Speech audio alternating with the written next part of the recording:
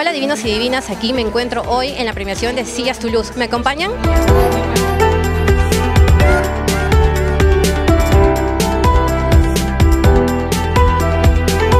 Hola divinos y divinas, acá nos encontramos con la arquitecta Claudia Tazara. ¿Nos podría comentar la experiencia? Claro que sí. Los proyectos que estamos viendo han sido desarrollados a lo largo de todo un ciclo académico por los chicos de la carrera de Arquitectura de Interiores y Diseño de Producto. Tenemos 25 proyectos exhibidos, los mejores desarrollados por ellos y con diferentes enfoques. ¿Nos podría comentar cómo ha sido su experiencia como jurado? Hola, ¿cómo están? Bueno, feliz de haber sido elegida como parte del jurado de ese gran concurso de sillas realizado por Toulouse-Lautrec.